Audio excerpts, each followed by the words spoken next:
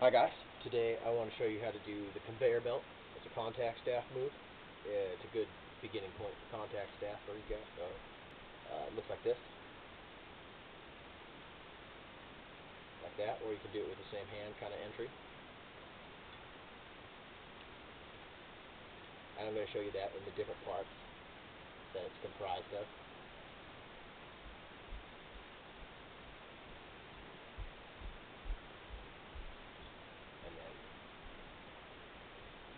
those are the basic bits of it,